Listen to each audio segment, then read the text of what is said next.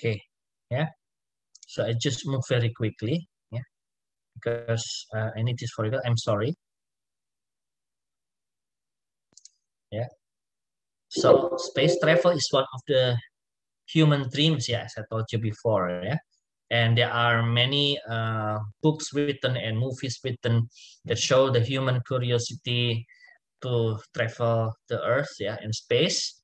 And also in the past, uh, human already try, as I said before, to understand how a celestial object works, uh, as well as the famous late physicist who already passed away, yeah, not long time ago. Stephen Hawking actually he discovered this Hawking radiation, meaning uh, that a black hole can also emit radiation in the horizon, yeah, near the horizon. So it can evaporate and also even disappear after some times, yeah. And he said that we must colonize other planets to ensure in the far future our human survival. And I already know we have these environmental problems, like, and uh, traveling is one of the means of recreation also, yeah. And see, there are many already many um, efforts, yeah, to do so, like Virgin Galactic, and Space, and SpaceX. Uh, sorry if I reply this again because I need the documentation for the next year's lecture. Yeah, so CNC here uh, uh, by yourself the YouTube saw, and you see it's interesting here to see, yeah, like um, how people really this is uh, already happening, yeah, uh, that people are already uh, think seriously about space travel, even with a high high cost. Yeah, and these are the space exploration within our solar system. In 2024, we try to colonize Mars, and colonization of Mars means that we try to uh, actually try to live there, to plant there, uh, like uh, to cultivate the soil of Mars for food and for vegetables and so on. Yeah, and also there are uh, projects to colonize Venus, yeah, and discover water in the uh, Jupiter's satellites. Yeah. Sir, okay. sorry, yes? I think you haven't shared screen. You know, I made another mistake. I haven't shared the screen. Okay. Ah, okay. Uh, okay. So, uh, yeah. okay yeah i will not repeat because it's time wasting yeah so uh, and maybe just like two minutes yeah you can see in the slides here already uh, what i already told you before yeah so uh, one of the important uh, discovery is the ability to conduct uh, space travel because of the technology and computation power that we already have. Yeah you can see here um, in the YouTube channel that we already sent rovers to Mars. Yeah, I mean, like the Pathfinder. Yeah, uh, and also here a picture and video about the Mars surface, which you can see by yourself.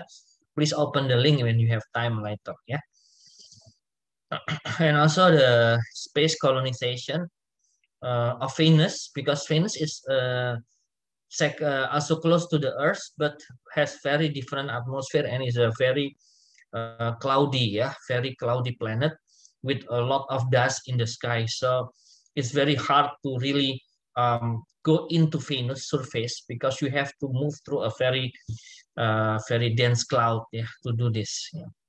And also here, uh, when we try, yeah, to colonize Venus, we would not be standing on the surface, but rather like be beyond uh, above the cloud of Venus. Yeah, because the condition above the cloud is rather uh, inhabitable. Yeah, uh, possible to be habitable. Yeah, so um, Venus, if there would be a space station that's located, will not directly in the surface, but rather in the atmosphere of Venus. Yeah. Okay. So here, uh, you can see yeah um, one of the lecturer of the department of physics already make a small contribution yeah Pak Tony yeah he's he has tried to model uh, solar cells that is possible to be operated in Venus condition. Yeah, and this is interesting. And also, yeah, this um, India, yeah, India is very advanced in space also. Besides uh, uh, United States, the European Union, Russia, and China, India is one of uh, the advanced nation in in uh, in the space exploration. Yeah, and Indian probe Chandrayaan one has identified the pressure of uh, presence of water in lunar surface, which is a very uh, interesting topic because when there is water in the moon, yeah, meaning that there is possibility of life in moon. Yeah. Between 1968 and 1972, America launched nine. Maybe I have to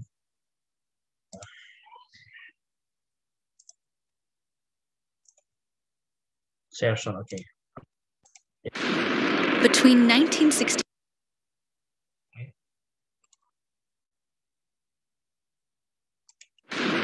Between 1968 and 1972, America launched nine human missions to the moon, six of which successfully touched down, allowing 12 men to walk on the lunar surface. NASA's next chapter of lunar exploration, called Artemis, has the task of not just going to the moon to create a long term human presence on and around it, but also to prepare for ever more complex human missions to Mars. In short, everything we must be able to do here we must first do here. So, what will an Artemis mission look like? Everything is designed and tested with our most important element in mind the astronauts. This is their deep space, human rated spacecraft called Orion, built in three parts. The crew module, where up to four astronauts will live and work throughout the flight, the service module, with life support systems for the crew and its own engine and fuel reserves, and a launch abort system with engines capable of pulling the crew module to safety during launch should anything go wrong. To accomplish the task of launching our crew and heavy payloads, NASA is building the Space Launch System, comprising of a cargo hold, an exploration upper stage, a massive core stage, and two extended solid rocket boosters. Altogether, this is the world's most powerful rocket, and it exceeds the legendary Saturn V of the Apollo era in numerous ways. Sitting on the launch pad, the entire rocket, fully fueled, weighs just over 6 million pounds, 5.2 million of which is just the fuel. Once ignited, there is no stopping what comes next. All four RS 25 engines and the two solid rocket boosters come to life, thundering our crew upwards. Two minutes after ignition, the solid rocket boosters are spent and released. Eight minutes after launch, the core stage is depleted and separated. The upper stage fires briefly, placing Orion into a parking orbit around the Earth. Here, the crew reconfigure the spacecraft and check systems to confirm everything is ready for deep space travel. With a go from mission control, the crew reignite the exploration upper stage engines to leave Earth entirely. The exact timing of this maneuver is critical to reach a speed that can escape Earth's gravitational pull, but also put Orion on a course that will intersect the moon days later. Once this burn is complete, the upper stage of the SLS is jettisoned and the crew aboard Orion coast for several days toward all that awaits them at the moon. Approaching the moon, we see the fundamental differences between Artemis and Apollo. Instead of requiring Orion to serve as an expendable lunar command module or to carry a constrained lunar lander, the Artemis missions will take advantage of a different approach pre staging. Everything needed for lunar missions will be positioned in advance by commercial and international partners. This includes rovers, science experiments, and human rated systems on the surface but it also includes a dedicated lunar station in orbit around the moon called Gateway. Here at this station, we can pre stage a robust lunar lander and establish a strong communications relay. Designed with open standards, the Gateway can be expanded as new missions and partnerships develop, allowing multiple human missions on the moon at the same time and enabling ongoing science to be conducted even between human missions. The Gateway is also capable of adjusting its orbit to allow access to every part of the moon, something the Apollo missions could not do. But the real key in this approach is placing Gateway in a unique halo orbit to perfect the maneuvers needed for Mars missions. And with the growing list of commercial and international opportunities, Gateway is the ideal hub between Earth and all that lies beyond. Returning to our crew as they approach Gateway, the Orion must match the elliptical orbit of the station in order to successfully dock. Once on board, pre selected crew members transfer to the lunar lander, while those assigned to Gateway remain on station. The lunar lander system itself is built for three unique steps descending from the halo orbit of Gateway down to a low lunar orbit, descending from low lunar orbit to the surface, and once the lunar mission is complete, launching from the surface of the moon and ascending all the way back to the orbiting Gateway.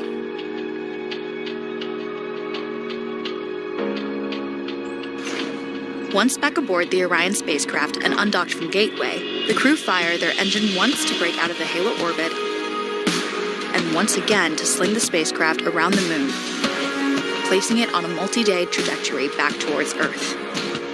As they near the end of this journey, the service module is released, and the crew module is oriented heat shield first. Entering Earth's atmosphere at 25,000 miles per hour, the friction of air slows Orion considerably, while also subjecting it to temperatures of 5,000 degrees. With the Orion now at just 300 miles per hour, a series of parachutes uniquely tested and produced for this moment deploy, decelerating the craft to just 20 miles per hour for splashdown. With each successful mission, Artemis ushers in the next wave of men and women to explore our moon and prove that together we are ready to go beyond. This is uh, very uh, exciting, yeah, because uh, Apollo program was already closed or uh, inactive for many years. I don't remember when, but this Artemis project tries to renew humans' uh, interest in the moon. Yeah, and um, you can see how uh, interesting the mission will be because uh, the amount of um, information that can be get due to the uh, presence of this lunar um, lunar uh, satellite is already near the moon. Yeah, so it's like they attach and then they come uh, they come back to this this uh, lunar satellite yeah? To redock again. And and this is uh, one of the challenge that will happen not in the far future but uh, in a few years maybe yeah and also the search for water will continue yeah in it is uh, very possible that in many planets that we thought there is no water but in fact there could be water uh, especially in the planetary satellite system. Yeah, like uh, Jupiter has many satellites. Yeah, and also uh, the possibility to mine. Yeah, to use uh, the resources from the asteroids for mining uh, precious materials. Yeah, such as gold, silver, and iron. Yeah, and also there is a um, possibility that the iron found on Earth uh, was once brought by a huge asteroid. Yeah. So uh, these uh, fallible metals that human use for uh, for shaping the history of humans and geopolitical wars and so on, used as weapon. This iron material might not be directly coming from the earth, but produced by the meteoroid. Yeah. and um, yeah, you can see here a website uh, that shows the amount of minerals. Yeah, we can do a spectroscopy, spectroscopy to find out the composition of the asteroids. Yeah, this is very interesting. Yeah, and one of the future exploration, for example, to find extrasolar planets, habitable zones. Yeah, called the Goldilocks zones and extrasolar planets in the nearby galaxy uh, you can see that there is a possibility that there is uh, there are some planets that can be habitable yeah mm, these are the pictures uh, you can find more in the website here yeah and there is also the possibility of a planet called Kepler 442b which uh, may be the best hope of mimicking our current Earth. Yeah, Earth is very unique in terms of uh, position. Yeah, in our solar system, the Earth is really a perfect place where life can exist like today. Yeah, So when the Earth was, uh, when the Earth uh, is not in the exact same position as today, I mean, in the not the same orbit as today, so there is a possibility that life will not be as as it now. Yeah.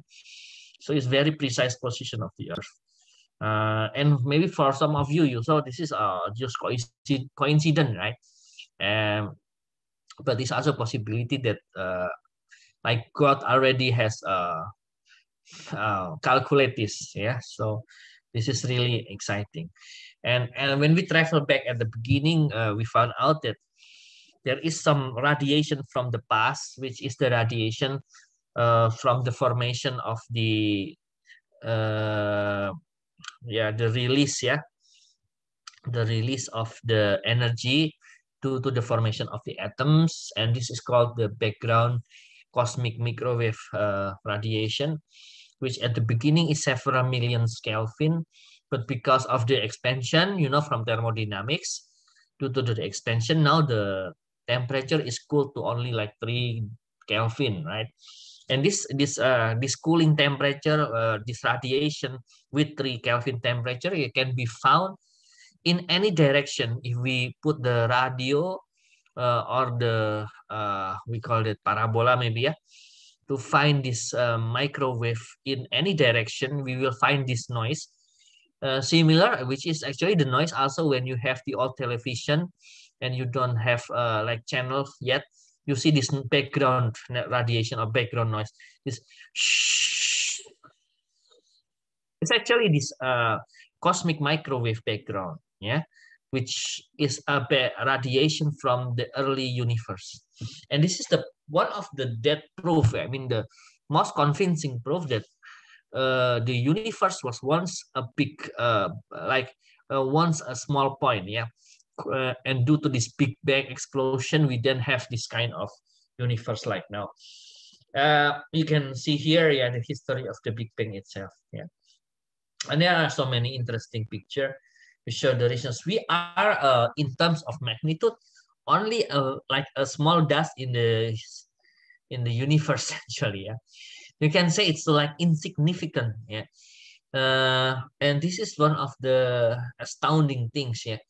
Uh, the, the position of the human race, the human beings is uh, in terms of the grand scale of the universe is very very small in in sense like we just like a dust in the vast amount of the universe yeah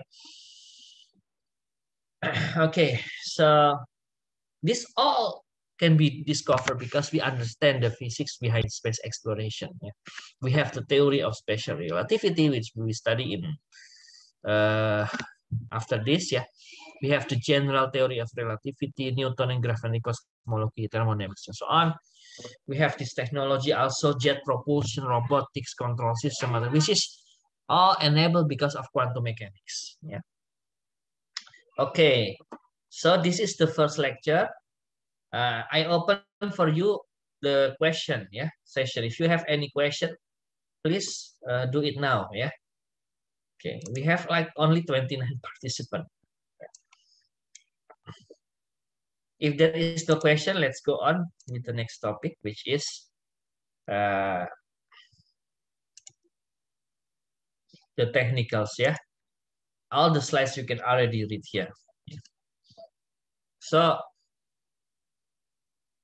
uh, one of the important thing, yeah, uh, is that space and time is not separate but is related to one another and this is uh, one of the consequence of the special theory of relativity which was first uh, discovered by Einstein in 1905 and this uh, special theory of relativity was first discovered due to the fact that uh, there is no uh, no medium for light yeah. You know like sound waves they move in air water waves they move in this water.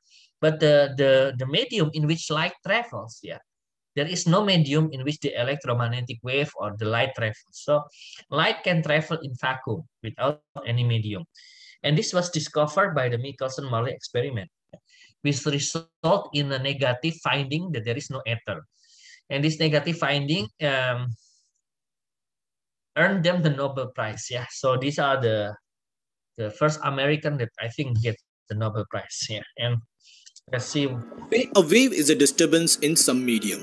Water waves are disturbances in water. Sound waves are disturbances in particles of air, water, or some solid. That's why you cannot hear your fellow astronauts scream in space. But what about light? What is its medium? Maybe it's air. But then light from the sun and distant stars reaches us and it has to travel through the nothingness of space. Perhaps the space is not empty and is filled with some mysterious material which is present everywhere, even on Earth, and this is the medium for light. Let's call it something. How about ether? But ether is just our imagination until we can prove its existence. Let's try to prove it. We'll need to set up something like this. For this we'll need a light source, two fully reflective mirrors, a half reflective mirror. A half reflective mirror only reflects half of the light the other half passes straight through it. We'll also need a detector which will detect the amount of light incident on it. The light source is placed at the bottom center of our setup. The half reflective mirror is placed at the center at a 45 degrees angle to the direction of light emitted from the source. The two reflective mirrors are placed at the right and at the top of our setup making a 90 degree angle at the center. The mirrors are placed at exactly the same distance from the center. Let's emit a beam of light from the source. It will hit the half reflective mirror which is placed at 45 degrees angle at the center of our setup. Half of the light passes through this mirror and the other half gets reflected. The two mirrors which are precisely at the same distance from the center mirror reflect back the light towards the center again. Here they combine as they head to the detector. Now, the point to note is, as the mirrors are placed exactly at the same distance, the light reflected from them will reach back at the exact same instant of time and both the waves will get added together. Let's backtrack a little and see how waves get added. The higher point in the waves are called peaks and the lowmost points the troughs. Let's say we have two similar waves which are in phase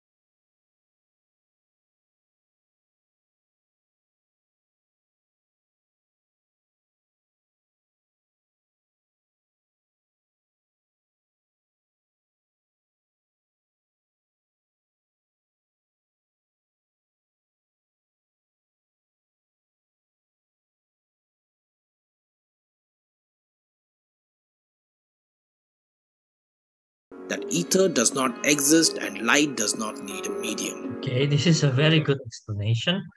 Although the English is not native English, yeah, just like me, Japanese English is Indian English, yeah. Uh, whatever, um, this is very good. I think the uh, that shows that there is no medium for light. And this is a uh, important consequences, yeah. The consequences is, is the postulate of special relativity. It will travel at the same speed for any observer, which is uh, moving in an inertial frame of reference or the frame of reference with constant velocity each other. So uh, this shows that there is no medium needed for the propagation of light. Yeah, because there is no change whether you rotate the system or you do the experiment at different time. There is no ether that influence. It is a uh, results, as I said before, in the Einstein postulates, which is the building block for the theory of special relativity. Yeah. First, the laws of physics uh, must be the same in all inertial frame because we cannot distinguish from moving with constant velocity and at rest. Yeah, for example, you are in a car and the car moving in constant velocity, everything is so smooth, you cannot distinguish between a car that is in the parking place or that is moving with constant velocity. Yeah, so it is actually relative. Therefore, the law of physics must be the same for all of them yeah? Whether you move in constant velocity or whether you are in rest yeah? Okay. And there is the formula for the velocity addition. For example here yeah? You have a I may have to draw this because otherwise you don't understand so clearly here. You have here uh, like let's say train yeah a train. And you have here someone yeah who is throwing a object like a ball yeah from the train. The cell velocity of the train is va this is the velocity of the train. Va velocity of the relative to someone who is standing in the station yeah so he will see that the train is moving at velocity va and uh, according to this man yeah uh, he release he release ya the ball at velocity VBA. So the question is according to this person, what is the velocity of the ball? Yeah. According to the person in the train, the velocity is VBA. Yeah. But according to this person, yeah, the velocity is VB. So he can calculate VB is equal to this formula here, right? Uh, and this is already account for the special theory of relativity, already account for the postulates of Einstein here. Yeah. So in this case, you have a relativistic velocity addition formula. And then this results also this postulate is uh, the interesting notion of time dilation. Yeah.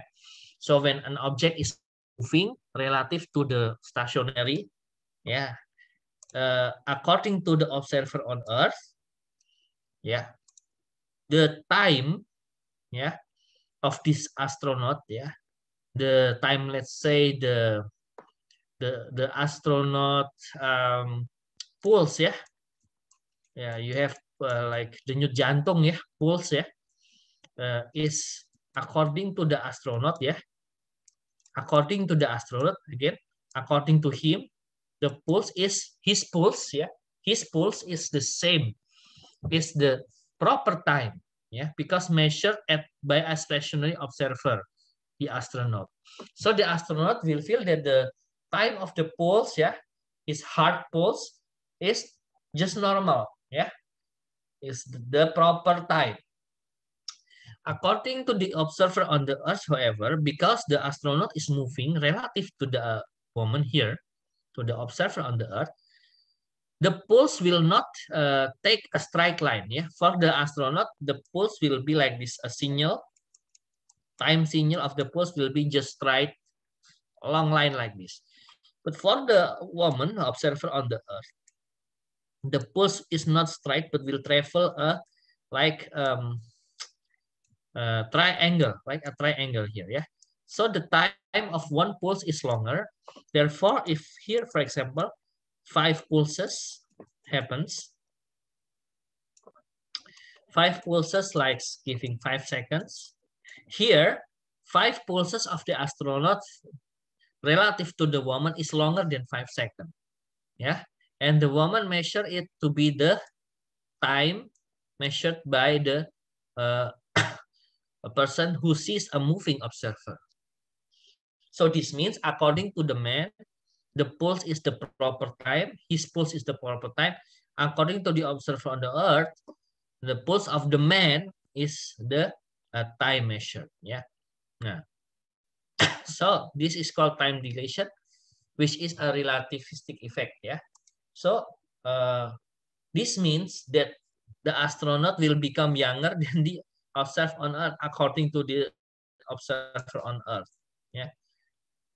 Because when uh, she, for example, celebrates uh, 60th birthday, he she sees that the astronaut is only celebrating the 58th birthday, for example. Because why? because the astronaut time is longer than the observer. And this has been proved, uh, already proved by the atomic clock, which can measure a very small amount of time uh, duration that is installed on the flying airplane. Yeah, the flying airplane installed an atomic clock here after traveling for several years the time is not the same as the time on the earth. The difference is only 0 0.001 second. Yeah. But this is already a proof. Now, if the um, if the time is uh, if the object is moving closer to the speed of light, the time dilation will be longer. Yeah, the effect will be stronger. We have this formula here. T0 divided by the square of 1 minus v square. Yeah. So this is the velocity of the satellite, uh, the space, yeah, spaceship. So here we have the conclusion. T is always larger than T0 because this is always larger than 1. Yeah, this is always larger than 1. Yeah. This is smaller than 1, but overall, something divided by smaller than 1 is larger. Yeah, so this is called the gamma factor. Yeah, the gamma factor is always smaller than 1. Okay, yeah. Yeah, sorry. Mm, we have this, yeah. yeah, this is called the time dilation. So this is relativity, meaning that the time flows not the same, but because we move not in, in the speed close to light, we find that this effect is not so significant. Yeah, but for objects moving very fast, like uh, cosmic rays, cosmic radiation, yeah, the time dilation can be felt very, uh, very clearly. Yeah. yeah. Okay. So here you can see also phenomena of length contraction. Yeah. Uh, length contraction if when the object is moving close to the speed of light. For an observer, we measure in, in the earth, yeah, we measure that the length is a little bit contracted, little bit smaller than the astronaut, which is uh, stationary to the space ship. So the astronaut in the spaceship will observe that the length is only L, L0. But for the person here on Earth, the length is L, which is smaller than L0. Yeah. And the formula is equal to this. Yeah. 1 minus V squared per C squared times L0. And this is uh, called the length contraction. Yeah. It's called the length contraction.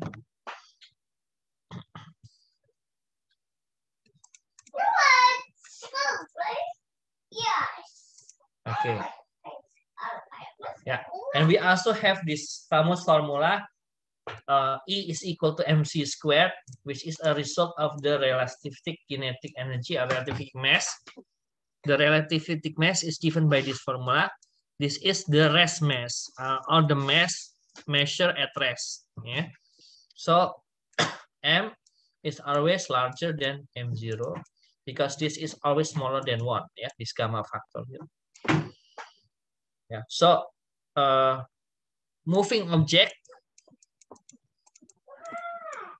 moving objects always uh, has, according to the stationary person, longer time, yeah, and also smaller length, yeah. Okay. A good example, yeah, is the case of muon, yeah. I will give you an example of muon. Muon are uh, particles from the uh, cosmic from our other from other parts uh, of the galaxy or just like from outer space. They travel with very high velocity yeah. They travel with very high velocity. And when they go into our atmosphere uh, they will only have the lifetime of half. So they will not reach the earth surface yeah. This is the earth surface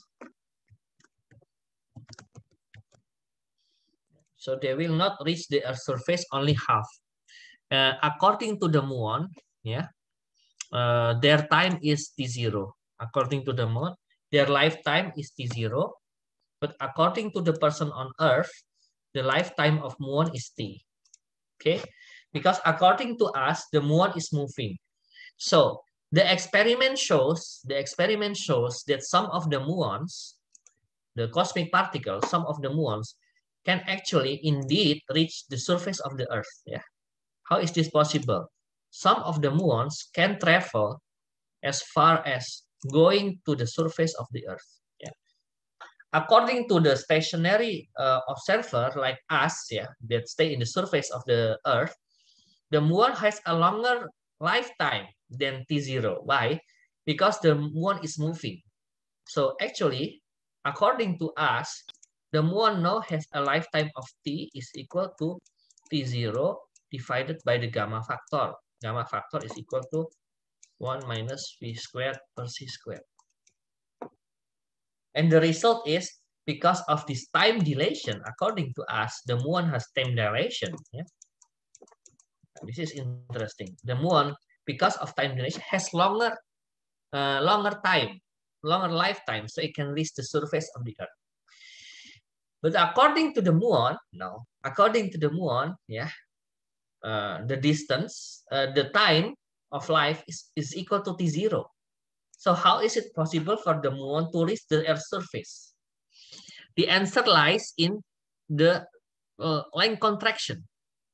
According to the muon, the distance of the Earth is not L0, but the distance of the Earth is L because the everything outside the muon is contracting.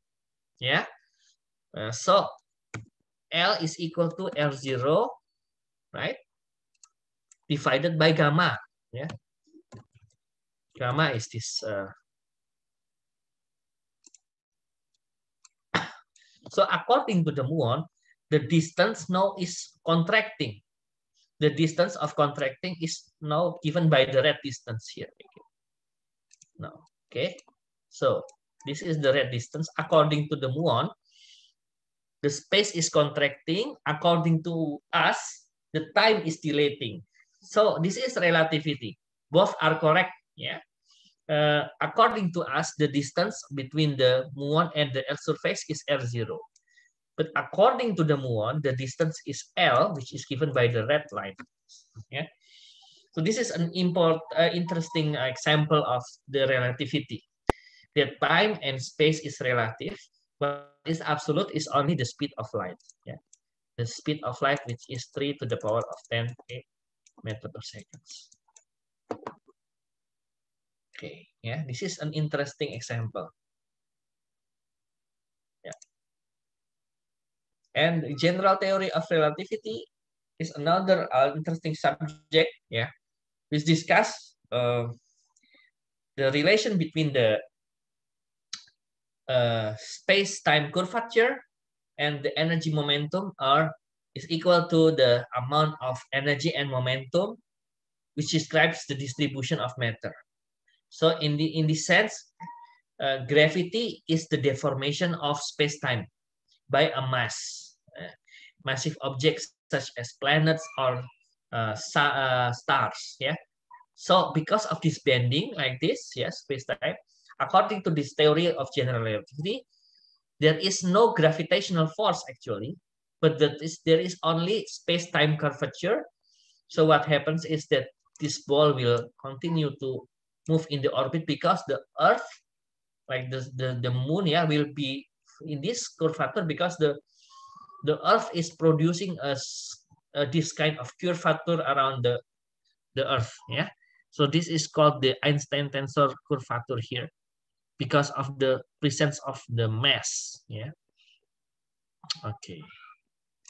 Until this point, do you have any question?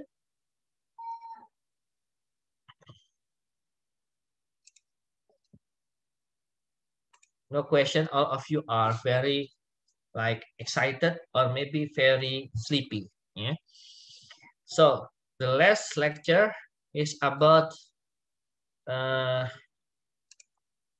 hmm fiction. Yeah. This is the last lecture. Physics of science fiction. Okay. Let me just talk to someone because I'm afraid nobody is listening now. Okay. Alia Maulida, are you still uh, are you still watching this lecture? Yes, sir. Yes, sir. Okay, good to hear. You look very tired, your son. Uh, is that because the subject is so hard, or you just uh, feel tired of something else? I don't know. Okay. Ah, yeah. We have three slides and I would like to finish this in like 10 minutes. Yeah. Yeah. Teddy, do you have something to say? No, sir. Okay. Yeah. In 10 minutes, I will say goodbye to you. okay. So just hold on for more 10 minutes. Yeah. Uh, Surya, hello. Okay, Surya. I would like to ask actually for those of you who can turn on the video to turn on the video to enlighten the spirit of this lecture if you want. You just turn on the video is okay for me, yeah. Uh, so that you can see your friends too, yeah. uh, I know that it has been a tough time for you because it's already like two years that we don't meet, yeah uh don't know this is a long time yeah more than i mean since the beginning yeah i haven't been able to see you directly in in class. So this for me is also a challenge yeah. Uh yeah because then i don't really know you yeah. I mean uh, i don't really meet you in person and this is uh, something that is also problem of his uh, communication yeah. Yeah. But however whatever i mean uh, uh, i hope that that yeah this lecture can also be useful for you even though in this condition yeah of covid yeah. Yeah. Okay. Shall we go on with the last slide? What yes. do you think? yes let's go on with the yeah. Actually before the slide i have some small story, a fictional story for you because this is about fictional stories. But I hope you like the story. Yeah. Because uh, when I'm bored, me and my wife, we used to go outside and just try to shop. Yeah. Like uh, buying for daily needs and something like that. Yeah. Maybe you go with your mom or maybe go with your boyfriend or girlfriend. Yeah. And at the time, uh, even though COVID conditions, yeah, the the supermarket is very full and I really want to shop something because uh, there is one of my favorite food there. The I, I, I really like this roasted chicken. You know, when I was in Austria, actually I tried to go out and buy this chicken. It's like for euros, like sixty thousand rupiah is grilled chicken actually, and it tastes very good. It's uh, very hard to find in Indonesia. But at the time, the supermarket, yeah, the supermarket was really full. And I was really disappointed to find that uh, my wife is really uh, afraid because there are so many people. Let's just go home. Let's just go home. And I said, no, no, uh, I really want to get that chicken. I really want to eat it. I don't care if there are so many people because we just need to avoid them. It's so hard, yeah. And during the time, um, yeah, I showed to my wife, let's go, just just buy the chicken, just buy the chicken, yeah, just buy the chicken. And uh, she really um, she really um like um trying to pursue me. It's like no, no, no, please, no, please, no. Yeah, and I and and I I I, take her. Yeah, I'm a I'm a crow. Let's go, let's buy some chicken. And after that, you can uh, you can do whatever you want. Yeah, I, think, I really want to have that chicken. and during that time, you see, everyone, um, so many people really, and it's it's a little bit scary. And I never see, uh, like uh, her really like um, uh trying to go home yeah trying to go away from me. And just buy the chicken yeah. And and and, and after that uh also when i get the chicken yeah uh i, go out and uh at that time we don't have the uh, i don't bring the car so i just order the grab yeah and even during the during the time she really is, is angry yeah like she's really angry and uh, really wants to go out and say we already got chicken yeah so uh, i'm very excited i just look at the chicken all the time yeah just look at the chicken all the time and uh, even after home yeah uh, after we go home yeah and you know I'm so I'm so confused. Why is she so angry with me? Why she's trying to like avoiding me? Yeah. and you know the fact and when I look at her, I, I don't know. I was really, really like screaming, yeah, because when I found out when I went home, uh, uh, going out from the taxi, I found that this woman is not my wife. Yeah, that's that's the reason why she's uh, screaming. Yeah, I, I brought another woman. So okay. okay, this is just fiction story. Of course, this doesn't happen. Yeah, if this happen, I'm really an idiot because I bring someone home. It's not my wife. Yeah. I hope that you laugh at this time whenever you are. Yeah. If you don't laugh at then you have a very bad sense of humor. Okay. so no wonder she screamed. Yeah, because that's not my wife. Yeah. Okay. I brought someone else from the supermarket home. I'm a crazy person. Okay. So, what has this story any relation with the physics? Yeah, because we are Actually, there is no serious relation. the only thing is that we are talking about fiction, yeah. And today we are talking about science fiction, just like 10 minutes, yeah. Please, I want to have your time for 10 minutes. And after that, you can do what you want, yeah. Okay. The physics of science fiction. Da, da, da, da, da, da, da, yeah. When I was a small kid, yeah, I used to love to watch this uh, yeah, you know, uh, watching Star Wars, yeah, uh, and also Star Trek. You know, this this captain in the board of the Starship Enterprise, yeah. Ah, I forget his name. Yeah, any one of you knows the name of the captain of the Starship Enterprise in the story of Star Trek series? Who was this bald guy? Uh, anyone can tell me the name of the person? Captain who? uh, this bald guy in the Star Trek series? Come on, anyone? Huh?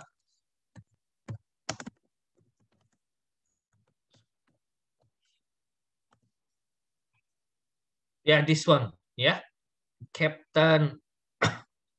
yeah, this is Ian Lupica's the name. Yeah. Ah, come on, who, who is the name of this? Captain Kirk. Yeah, Captain Kirk. How to pronounce? Yeah, he's one of my favorite uh, actor. Hmm.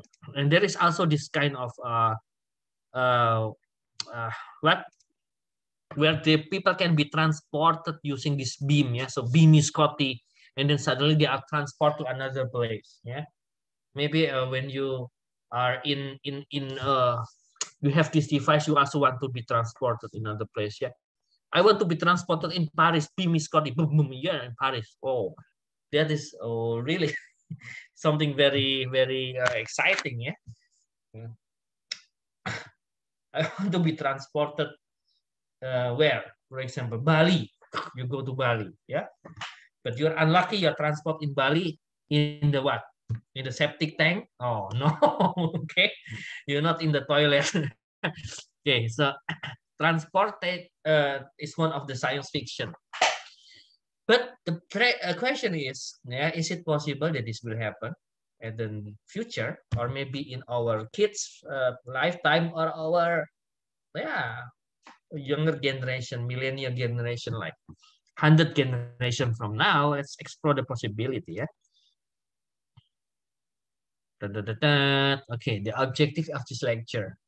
This is actually a very interesting lecture. Yeah understanding the physical concept behind science fiction, and find these mistakes and incorrectness in the movies. For example, in the Star Wars, yeah, there's called this lightsaber. Yeah, no, I don't have this lightsaber. No, actually, I don't have lightsaber. Yeah, but this lightsaber, yeah, uh, Luke Skywalker usually use this green lightsaber. This is minis, minis, and is it possible in physics to have this lightsaber? it turns out that it's very difficult yeah. Because why?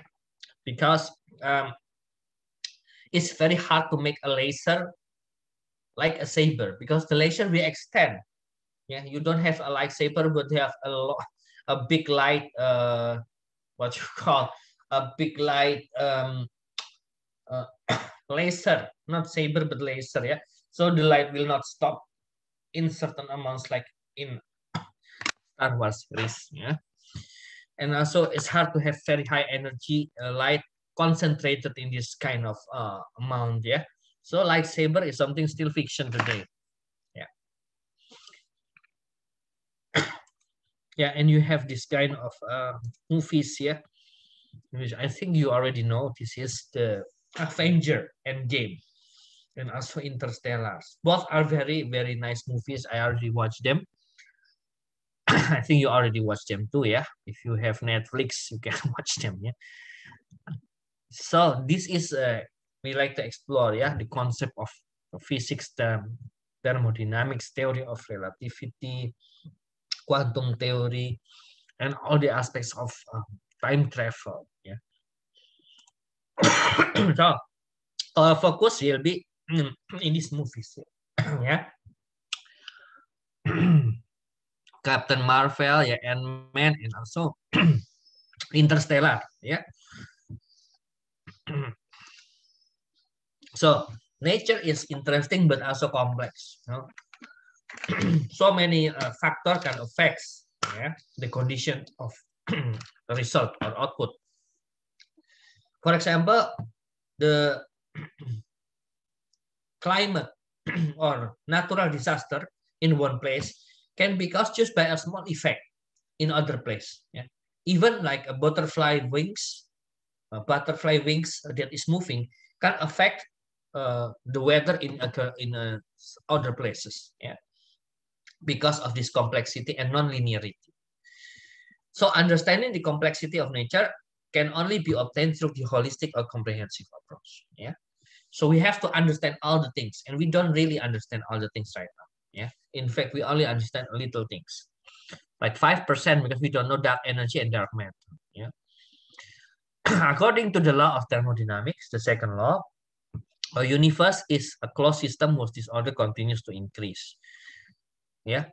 So disorder always tends to increase. You wake up in the morning, I'm not sure your hair will be like messed up. Yeah. Uh, yeah. So like my hair now is quite good because I comb my hair, yeah, comb my hair. But when you wake up in the morning, usually your hair is not like this, yeah. Uh, it can be more uh, chaotic because isolated system disorder will increase, yeah. In thermodynamics, this is called entropy, yeah, the degree of disorder. Heat always flows as a result from spontaneously from the cooler, no, from the hotter to the cooler, yeah. This is based on the second law of thermodynamics, which allow the time to move in one direction. Yeah, and we have this general theory of relativity, the structure of space-time, the fabric of space-time. According to John Wheeler, mass tells space-time how to curve, and space-time tells mass how to move. Yeah. And because light can bend be objects with large mass as a consequence, yeah, our time is based on the traveling of the light. So if the light can be bent by a mass, means that near the massive object, the time is not the same as near a non-massive object. In this case, when you know the interstellar movie, yeah, a um, very massive black hole can cause time to flow more slowly than when there is no black hole. That is the reason why when uh, Captain Cooper is near uh, this Gargantua black hole, the time will feel more slowly than the people in the Earth. Yeah, this is called time dilation because of the massive object. And this black hole is actually the picture of the first observed black hole. We uh, have already the ability for the first time to directly photograph a black hole. And this is how it looks like. Yeah. so the black hole is actually a star yeah, or object that light cannot escape because of the huge amount of gravity even the light cannot escape. Yeah, we know that everything that goes up must come down, but for light, usually escape it because of the high velocity. Because of the concentration of mass, light will come back. Yeah, and this means that the object uh, is trapped forever in the called the black hole. Yeah, outside the black hole, we cannot see anything. It's dark because even light cannot escape. Yeah, and the the horizon or the diameter of this black hole is called the Schwarzschild radius. The radius of the horizon is called the Schwarzschild radius. And if our star were a black hole, yeah, then its mass must be very large, as you can see here. Yeah. But this is not the case. Yeah. So our star can be seen. You can imagine what happened if our star were a black hole. We still rotate the star, but we cannot see the yellow color of the sun. Yeah. Okay. And also for very large mass, there also exists possibility of singularity. Now, the interesting point is if we can move into something like this, and we see that there will be an out outdoor called the wormhole. Right? So we can go in and we can get out uh, at uh, a point, a different space with different time. Yeah. So this is uh, but until now we don't observe a wormhole. Yeah. It's a wormhole. Yeah.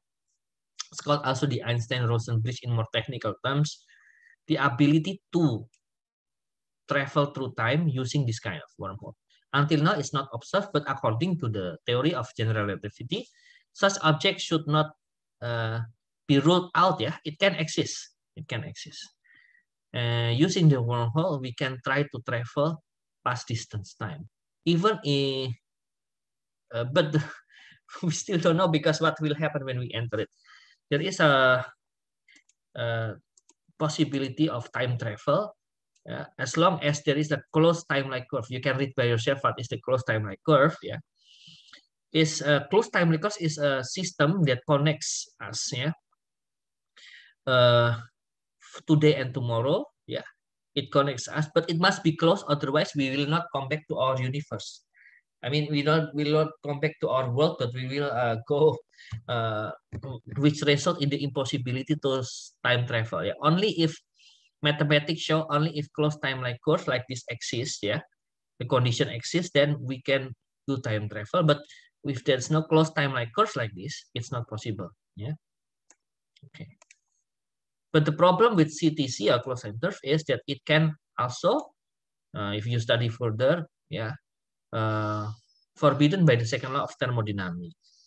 Yeah, because as I say, uh, this order must increase. Yeah, but in this in this case, yeah, the second term uh, like of second law of thermodynamics can be violated. So this will produce grandfather paradox. You know, for example, yeah, you go back to time and you kill your grandmother. Oh my God. And the question is, will you still exist when you kill your grandmother? Because logically, your mother will not be born. Yeah. So this is the grandfather paradox. Surprisingly, parallel universe allow us to do this because when we go back so, uh, through a CTC loop, yeah, we will uh, face that we are different universe. In our universe, everything is normal, only that we don't exist anymore. We disappear. But in the parallel universe, we can meet with ourselves, yeah, in the past. Like when we were a small kid, we can meet us in the small kid and we, we kill our grandmother, we will still exist because we have in different universe. We are in a different universe called parallel universe. Yeah. So it doesn't affect anything in the current universe. Yeah. Yeah, this mathematics gives crazy results. Like the object will be trapped in black hole and so on. Yeah.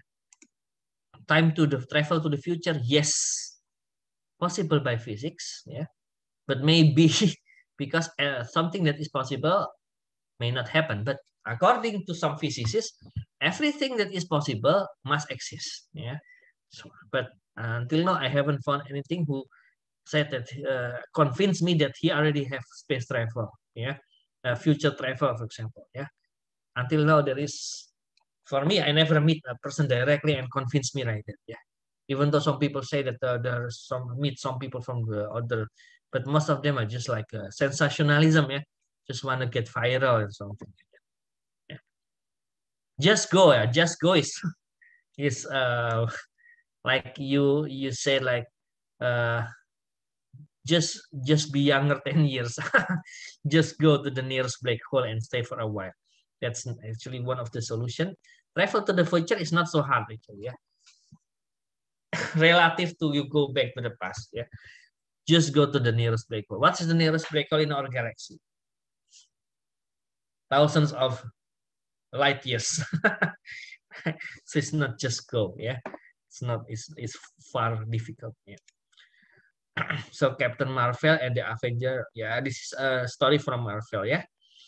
Uh, you you already know maybe this story but here when captain joseph cooper go in the black hole some people say he will not survive because of the high amount of gravity he will feel the spaghetti effect yeah spaghetti effect means that the head and the feet will differ, have very different gravitational force acting, yeah, and he will be spaghettified and probably die, yeah, because of this effect, yeah.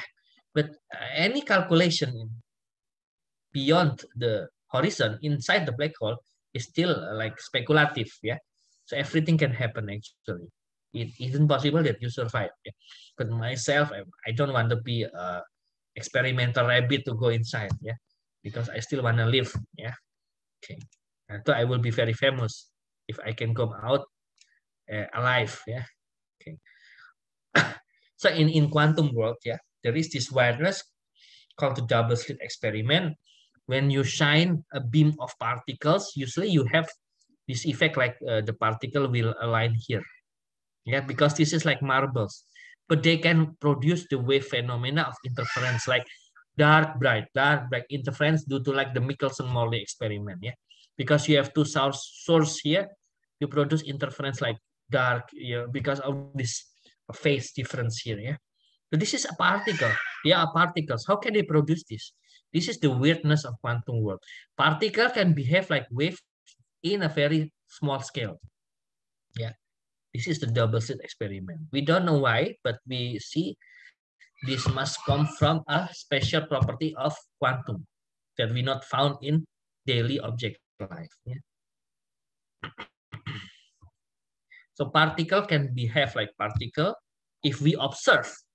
Now this is another weirdness. If we observe where they go, they behave like particle. But we, we don't observe, they can be at any place at the same time, at more than one place at the same time. This is weirdness. Yeah. When we observe and we don't observe is different result give different result. This is really strange yeah. So this is another witness the observer will affect the measurement. We look at it and we don't look at it will produce different results yeah. So therefore the two famous person like einstein said do you really believe in the that the moon is not there when you're not looking so according to this uh, interpretation here, yeah, if we look, it will change the experiment. Therefore, if we don't look at the moon, the moon will be in a different location than now. Yeah, this is the consequence. And Einstein said, yeah, do you really believe the moon is not there when you are knocking, not looking? We call this realism. Yeah, meaning that, uh, yeah, this is called the realism. Yeah, and God doesn't play dice. That God doesn't play dice is determinism, which means that the laws of quantum mechanics must be determined just like Newton law. But as you see, there is some uh, probabilistic, yeah, like we cannot say that the next particle will come in one, two, three, four, five, it can be one the next one can also be still one the third one can be two the fourth one can be five. We don't know which is the, the correct arrangement yeah so uh, quantum theory is uh, probabilistic yeah yeah so like this stop telling god what to do is interdeterminism probabilistic yeah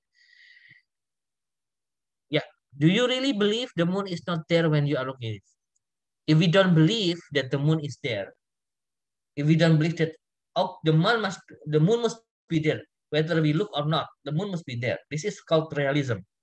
But experiment in quantum mechanics show that we look and not can produce different outcomes so the question the answer of current physicists many of them say yes it can be.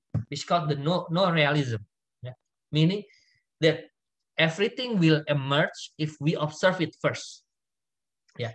This point uh, human conscience will react to the materialism. This is some kind of like magic yeah, like indian or like eastern tradition yeah. And the involvement of our mind to the presence of object is very interesting subject so, yeah. Philosophical discussion. Until now we are still not sure about this yeah. And also this many world interpretation. Because of what? Because of the parallel universe uh, will is possible due to quantum mechanic interpretation. Yeah, so it's like when you go to the space time travel, you can arrive in different universe, not the this universe, but a universe very alike to our universe. Yeah, and this is one of the solution of the quantum problem. Yeah, which you will learn when you study physics more deeply. So there are two, two main interpretation called the Copenhagen versus many worlds. In the Copenhagen interpretation, every measurement is probabilistic. And there is only one universe. So meaning that after you throw the dice, for example, uh, the result before you observe can be in six different bases uh, or six different results. Eh? One, two, three, four, five, six. But after you observe, only one state comes. Yeah, one condition come out. But in the manual observation, when you throw a dice, you can be in six different universe. Yeah, like when I go to the supermarket, it's possible that I take my wife in other universe. I don't take my wife. Yeah? So when you are angry that your football team never win the World Cup, don't be so sad because in other universe your team might win the World Cup 10 times. yeah. So yeah, again this discussion about close uh, time uh, this loop yeah uh, was first discussed by the physicist David Deutsch and is the basic of the uh, film of the Avenger Endgame film. Yeah. So uh, to be able to go past the time, you have to experience the realm of quantum. And the realm of quantum only happen when your size is less than like 10 nanometers, less than 100 nanometers. So the persons in the time travel must shrink, yeah, uh, that's why, uh, for example, Ant-Man can travel past time. Yeah.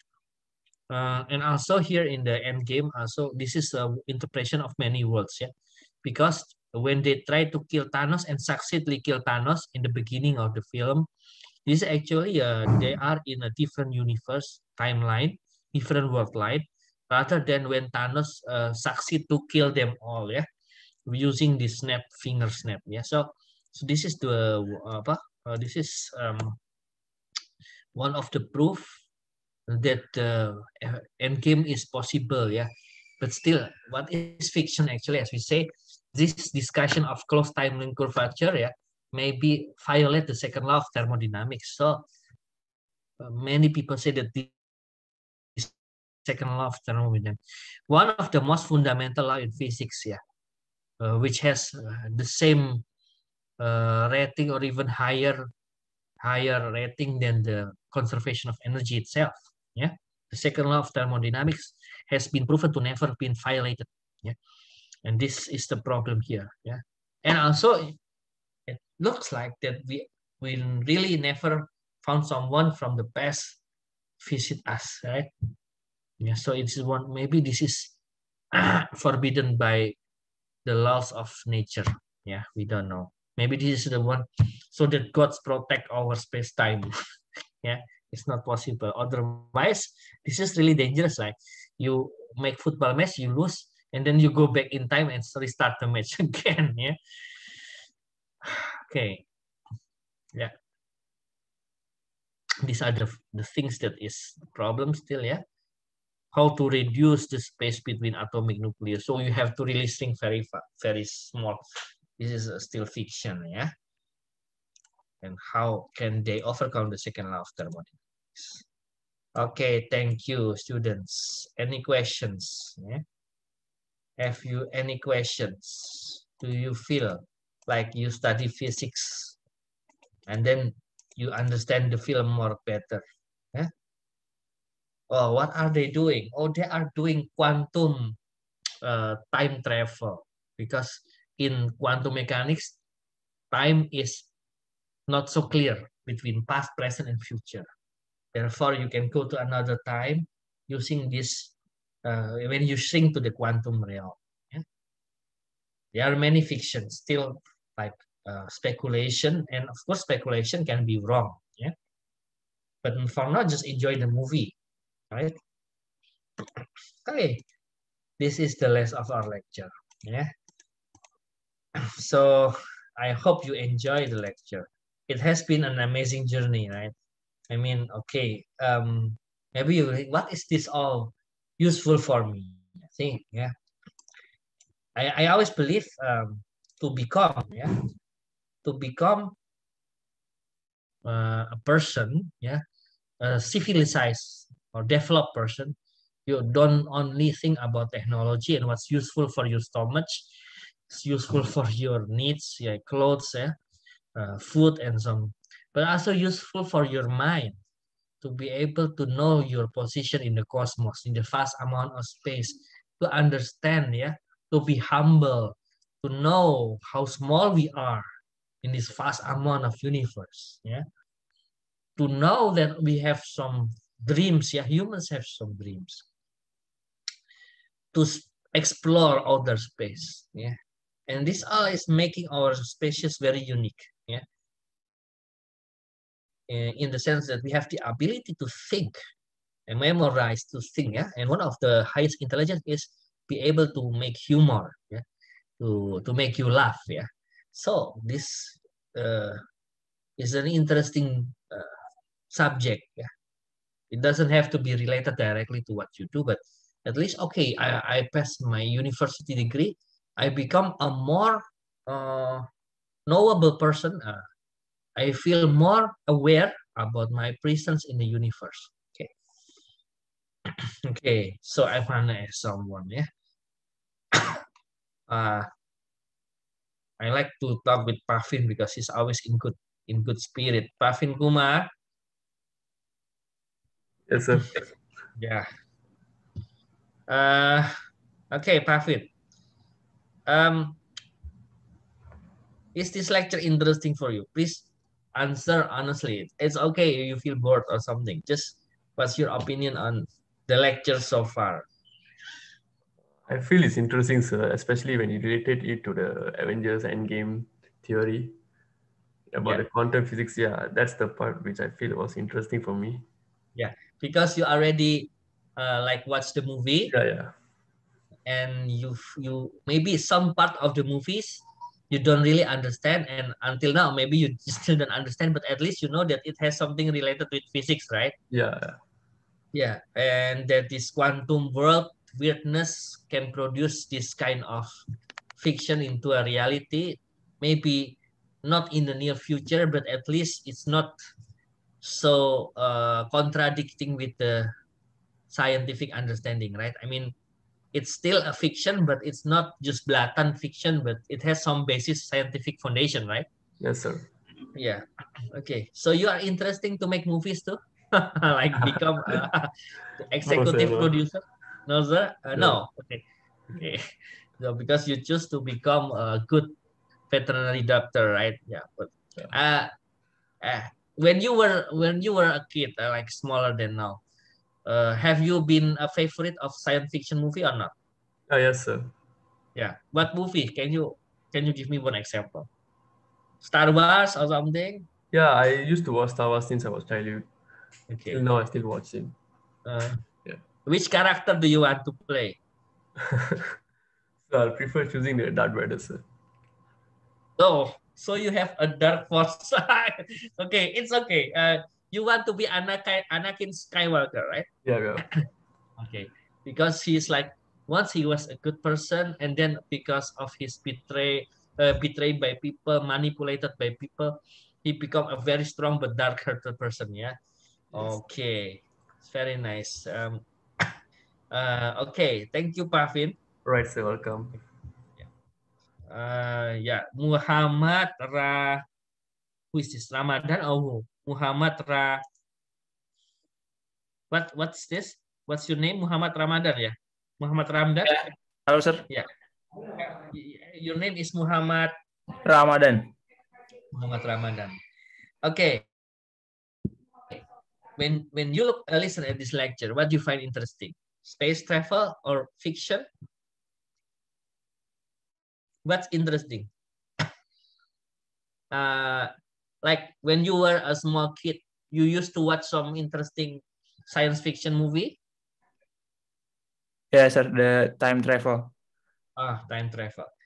Okay when you when you could time travel yeah uh, who will you visit? A person certain person or uh, you have planned when you can time travel? You want to travel to the future or to the past? To the future. To the future. Oh, okay. And to the past also. Yes. okay. when you when you go to the future, right? Uh, you what will you tell the future generation if they interview you of in front of a, the future society or future people? What will you tell them? um, about the COVID, maybe. Yeah, that's interesting. And maybe about the environmental problems that you face nowadays, right? Yeah. Yeah. Maybe you will see a more green approach to the energy solution in the future. And uh, maybe your your money will be worth like thousand of times. Yeah. If you can travel to the future and you you buy some bitcoins now, maybe your bitcoins will be worth like a million times now, right?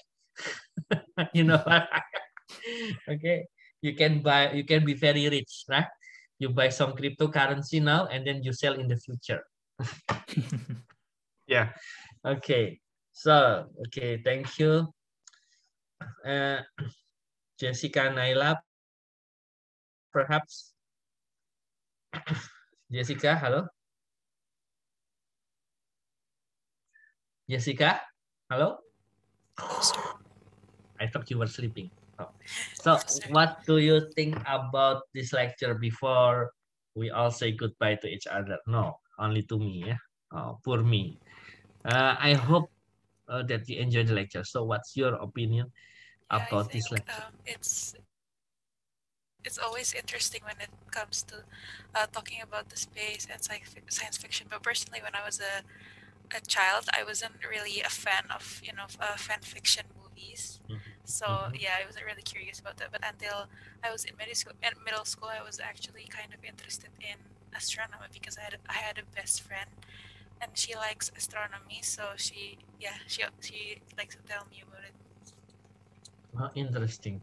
So you are very interested in the um, formation of galaxies, in the uh, in the position of our universe, in how a universe is, where our place is in the universe, and so on. The discussion about the planets and so on. You're really interested in the in in this in astronomy, right? Okay. Yeah. Mm -hmm. So most of us, you know, are interested in astrology. astrology is like the movement of stars, yeah. But uh, I think it's very good start to become uh, uh, intelligent person if you love astronomy. Yeah? Have you been to planetarium? Have you been yet, to? Sir. Yeah, because there's a planetarium in Jakarta. Yeah, and maybe uh, where are you located right now, if I may know? In. Uh, I'm in Bogor. Ah, you're in Bogor. So yeah, there is a planetarium in Jakarta. Yeah. Actually, there is a you know this kind of big screen above you where you can see and there there, they will be active like active real time position of the stars and also the story of Hubble and something like that. I think you you when COVID is over, maybe you can visit this planetarium. I have a good friend there who usually give the talk uh, in this uh, planetarium. Yeah, but thank you for your answer. Okay. Now, any one of you wants to comment on this lecture? Anyone? Just speak up if you want to say something.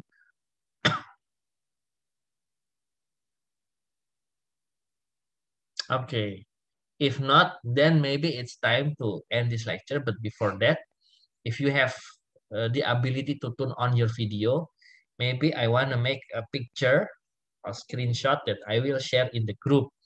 Yeah, that our lecture has ended. Yeah. So if you have time, please turn on the video now. Yeah. Okay.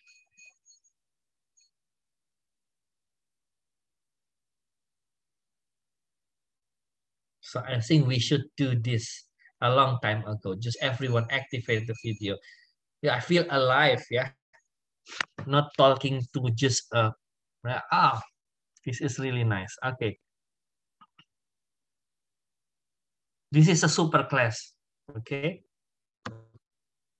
Okay, you know what I see in front of my screen? I see future people who has very high probability to be successful persons okay?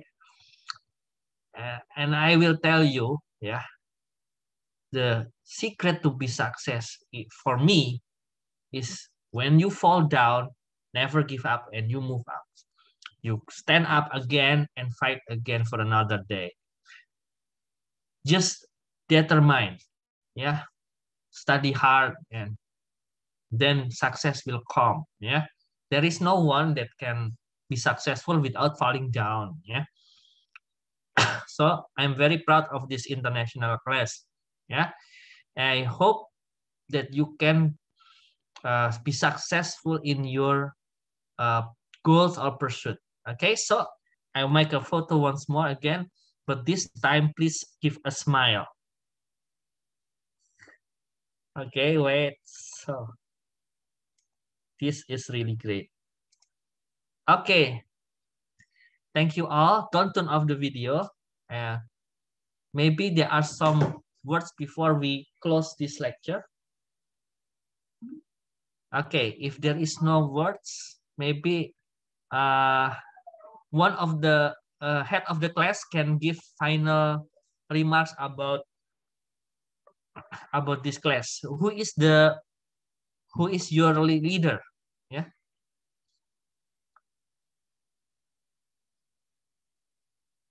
No? Or someone that can represent your class?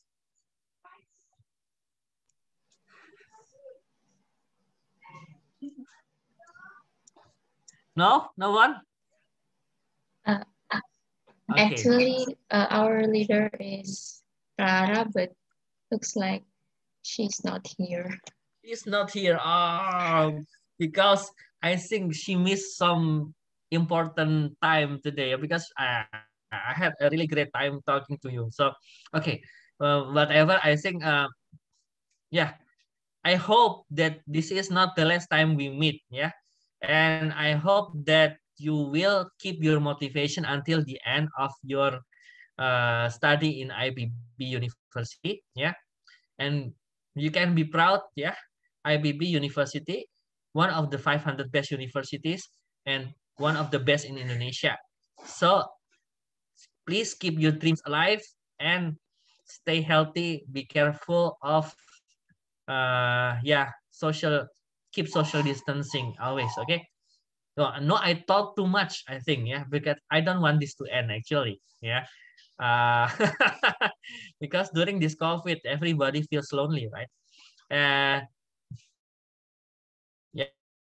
that you will all yeah uh, become good friends because you see like this yeah? This is not the same when you meet together but still it's better than without video okay? So i must stop now yeah? Uh, bye bye everyone yeah? And i hope that you once again yeah have a nice time. Yeah, and also have all pass the physics exam with good marks. Okay, whatever happens, please don't stop trying. Okay, bye bye all. Goodbye. Yeah. Thank you very you much, all. sir. Thank you, sir. See you next Thank you very much, sir. Thank you, sir. Yeah. Thank you, sir. Bye. You may leave now. Bye bye.